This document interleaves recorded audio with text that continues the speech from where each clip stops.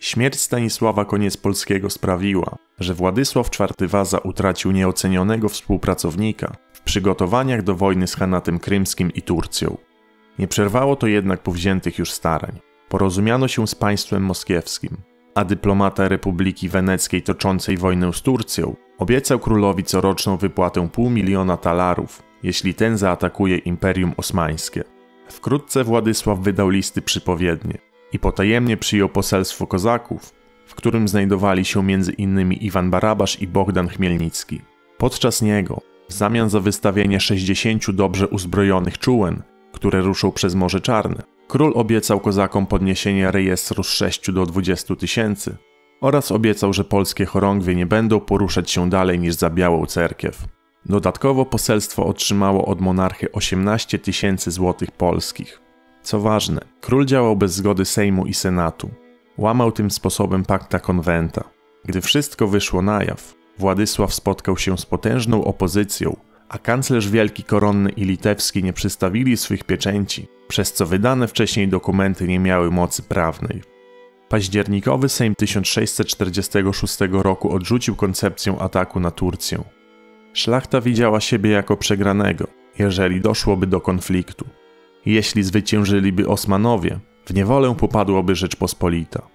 Jeśli król odniósłby zwycięstwo, dla szlachty oznaczało to wprowadzenie władzy absolutnej, czyli według nich również niewolę. Monarcha próbował jeszcze przeciągnąć magnatów kresowych na swoją stronę. Wakujący urząd wielkiego hetmana koronnego nadał obecnemu hetmanowi polnemu, Mikołajowi Potockiemu. Urząd hetmana polnego prawdopodobnie miał być nadany Jeremiemu Wiśniowieckiemu, ale ten jawnie opowiedział się przeciw wszczynaniu walk oraz był skłócony z wielkim kanclerzem Jerzym Osolińskim. Kanclerz wpłynął na króla, by ten polną buławę nadał ojcu jego zięcia, Marcinowi Kalinowskiemu. Władysław dalej parł do wojny, rozumiejąc, że pozbycie się Tatarów będzie skutkować nie tylko zaprzestaniem łupieszczych najazdów, ale również osłabi Turcję, jak i pośrednio pozwoli rozwiązać problem związany z kozaczyzną. Wkrótce na monarchę spadł potężny cios. Zmarł jego siedmioletni syn, królewicz Zygmunt Kazimierz. Król po tym tragicznym wydarzeniu utracił swój dotychczasowy zapał i animusz. Władysław, nie mając zgody Sejmu i Senatu, postanowił sprowokować ordyńców. Wtedy Stany Rzeczpospolitej nie sprzeciwiłyby się wojnie obronnej. Jesienią czterotysięczny oddział Aleksandra Koniec-Polskiego zapędził się aż pod Oczaków, a rzekomo dwudziestotysięczna armia pod wodzą Wiśniowieckiego dotarła pod Kudak i część z niej przekraczając Dniepr dotarła aż pod Perekop. Tatarzy pogrążeni w wojnie domowej nie dali się sprowokować i obie wyprawy okazały się fiaskiem. Wojska polskie zostały rozłożone na leżach zimowych. Fakt ten rozczarował gotowych do walki kozaków.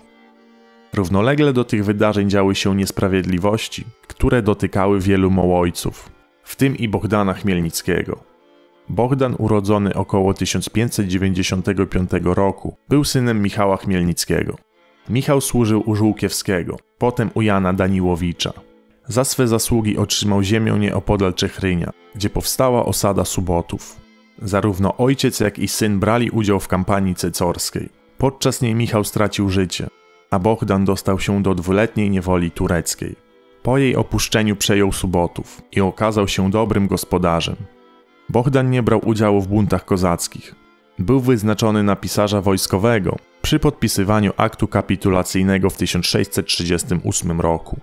Później zdegradowany do pozycji setnika czechryńskiego. W historiografii utrwaliło się, że Chmielnicki wszczął powstanie, gdyż pod starości czechryński Daniel Czapliński porwał mu kobietę, z którą ten zamieszkał po śmierci żony. Nie jest to do końca prawdą, gdyż sam Chmielnicki w rejestrze krzywd wysłanym do króla przedstawiał inne zarzuty. Czapliński najechał i zajął Subotów. Podczas tej akcji wypędził z domu Chmielnickiego wraz z rodziną, a nawet dotkliwie pobito jednego z jego synów. Wtedy też owa kobieta miała związać się z Czaplińskim. Chmielnicki słał skargi, ale Czapliński, mając za sobą potężnego protektora, jakim był Aleksander Koniec Polski, poczynał sobie coraz śmielej. Co prawda wypłacił Bohdanowi 150 florenów zadośćuczynienia, ale sam Chmielnicki wyceniał wartość posiadłości na 1000 florenów. Próbowano nawet zamordować Bohdana. Gdy wracano z wyprawy na czambuły tatarskie, niejaki Daszyński uderzył go szablą w szyję. Chmielnicki miał szczęście, gdyż misiurka uratowała mu życie. Gdy ten zapytał żołnierza, co on wyprawia, Daszyński miał mu odpowiedzieć, że pomylił Bogdana z Tatarzynem. Pod koniec 1647 roku pojmano Chmielnickiego pod zarzutem szykowania czajek na wyprawę czarnomorską. Nie jest pewne, czy Bogdan już wtedy planował bunt, czy było to pokłosie rozmów z Władysławem IV i działał z rozkazu króla. Chmielnickiemu za zdradę groziła kara śmierci, ale wstawili się za nim innymi komisarz wojska zaporowskiego Zaćwilichowski czy pułkownik czechryński Krzyczowski. Uwolnionemu Chmielnickiemu nie pozostało nic innego jak ucieczka na Zaporoże. Tam szybko zdobywał stronników, gdyż wielu kozaków cierpiało podobne niesprawiedliwości. Wyzysk był tak wielki, że sam hetman Potocki domagał się od Władysława IV wydania uniwersału napominającego dzierżawców oraz powołania komisji do rozpatrzenia krzywd. Tymczasem Chmielnicki na sutej imprezie wykradł Barabaszowi listy od króla Władysława i w 1648 roku udał się na Sicz. Wraz z około 500 towarzyszami zatrzymał się na Bucku, jednej z ufortyfikowanych wysp na Dnieprze. Stąd rozpoczął agitację, prawdopodobnie rozpowszechniając skradzione listy. Na kresach napięcie rosło z dnia na dzień. Wkrótce doszło do pierwszych starć. Skromne siły kwarciane wraz z rejestrowymi zostały zaatakowane przez oddział Chmielnickiego. Żadna ze stron nie odniosła większych strat, ale co ważniejsze, część kozaków rejestrowych przeszła na stronę buntowników. Sprytny Chmielnicki odesłał ich z powrotem do oddziałów Rzeczpospolitej, aby ci namawiali swych towarzyszy do porzucenia służby. Tymczasem hetman Potocki koncentrował armię i próbował prowadzić pertraktację, gdyż przewidywał, że zbieranina, jaką dysponował Chmielnicki, prędko się w 100 tysięcy obróci. Rokowania zakończyły się fiaskiem, a marzec 1648 roku był najlepszym czasem, by wszystkimi siłami uderzyć na gromadzących się buntowników. Później przygotowania ze strony polskiej utraciły tempo. Kozacy za to zawarli sojusz z Hanatem Krymskim. Początkowo Tatarzy byli sceptycznie nastawieni do owej propozycji. Jednak brak zwyczajowych upominków, prowokacje ze strony polskiej oraz samoupieszczy charakter wyprawy przekonał Hana do udzielenia wsparcia jeszcze niedawnym wrogom. W kwietniu Tuchajbej na czele około 6 tysięcy wojowników wyruszył na Zaporoże.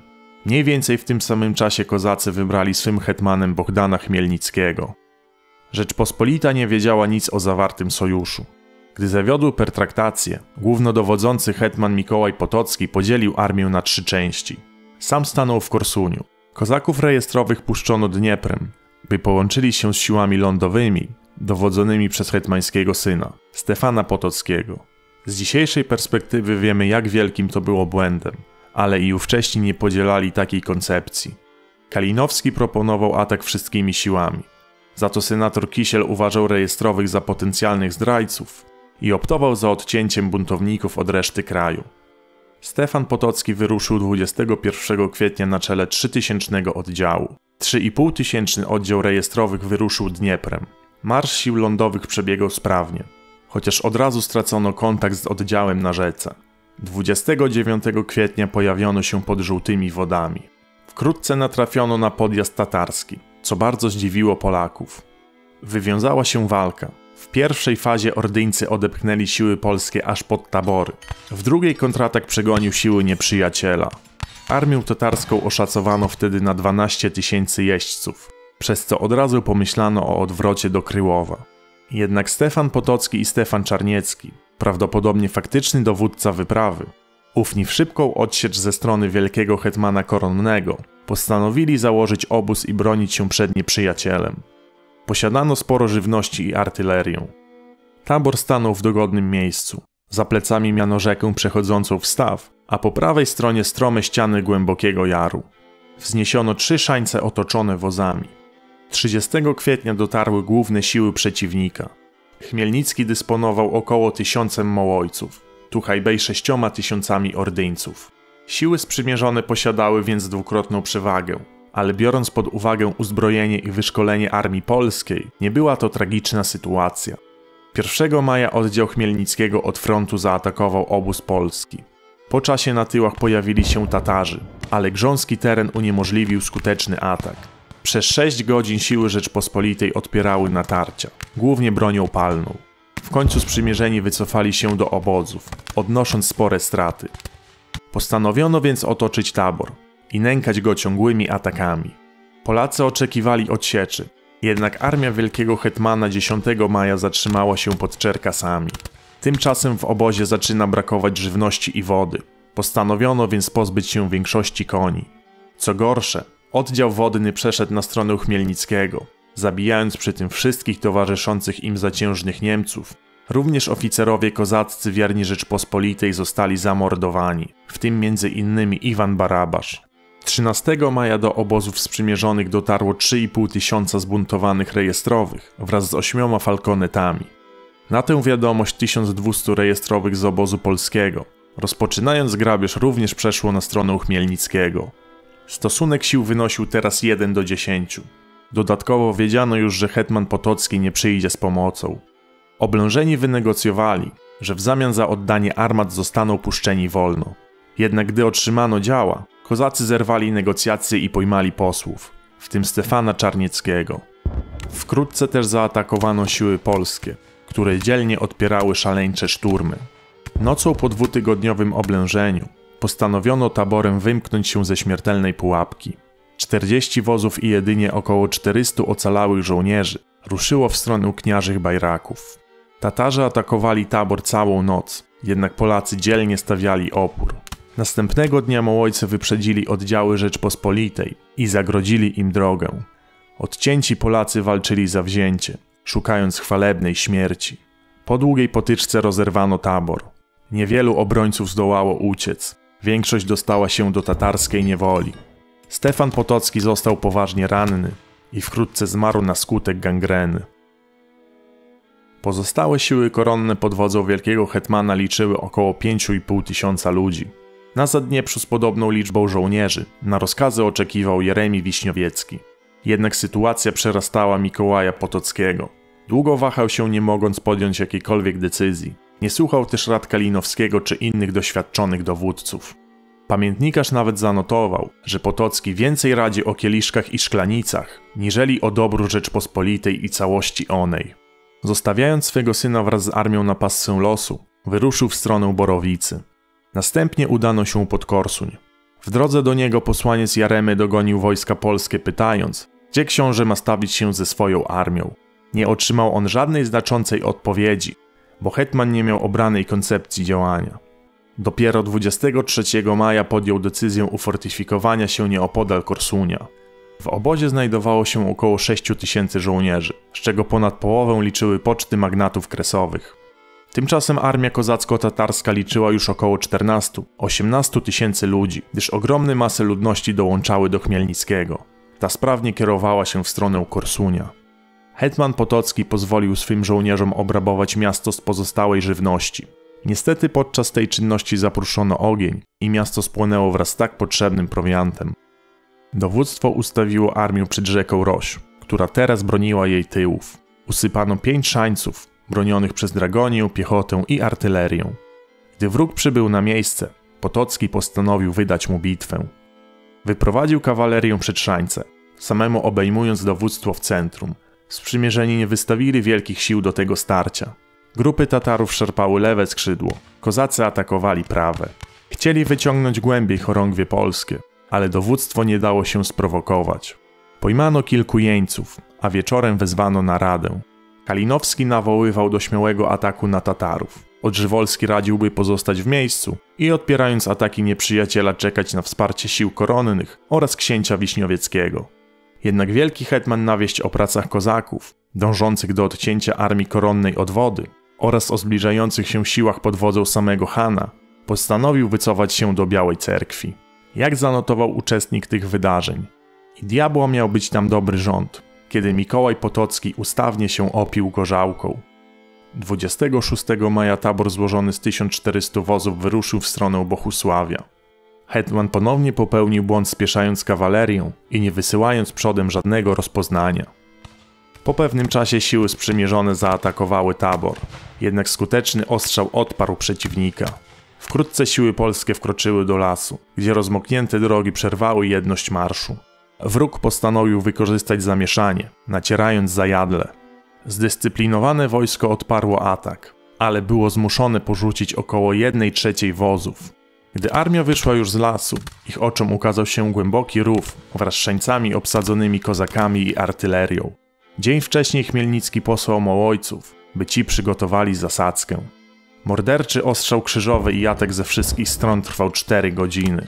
Polacy walczyli mężnie. Kalinowski podrywał żołnierzy do ataku, a Korycki w brawurowej szarży przedarł się przez umocnienia kozackie. Jednak siły nieprzyjaciela były zbyt duże i wreszcie rozerwano tabor. Na szczęście ordyńcy wraz z buntownikami bardziej byli zajęci grabieniem kosztowności niż pogonią za wojskami polskimi. Stąd około 1500 ludzi przedarło się w głąb Rzeczpospolitej. Jednakże wielu z nich popadło w niewolę, w tym hetmani Potocki i Kalinowski. Utracono wszystkie działa, a śmierć poniosło około 500 ludzi. Armia polska została rozbita, a na Zadnieprzu pozostał osamotniony książę Wiśniowiecki. Strach padł na całą Rzeczpospolitą. Na domiar nieszczęść 20 maja 1648 roku w Mereczu w wieku 53 lat zmarł król Władysław IV Waza.